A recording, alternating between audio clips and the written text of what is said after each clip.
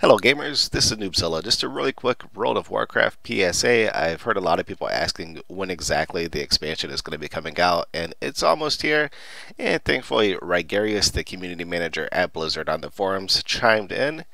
He said, Warlords of Draenor will launch in North America, US at 12 a.m. PST, 1 a.m. Mountain, 2 a.m. CST, 3 a.m. EST on Thursday, November the 13th. Oceanic will launch at the same time as the US.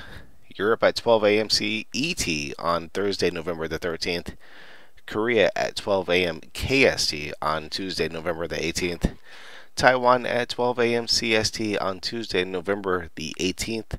China at 12 a.m. CST on Tuesday, November the 18th.